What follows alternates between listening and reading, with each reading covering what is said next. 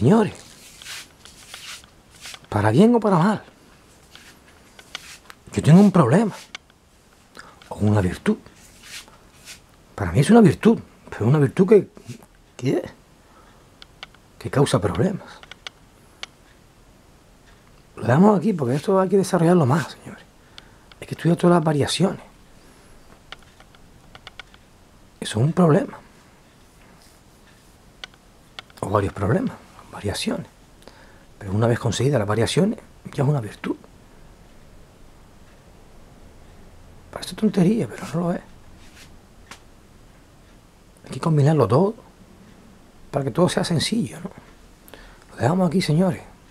No queremos entrar en dialéctica infructuosa. Lo parece, pero no lo es. Más tarde. Buenos días. Seguimos.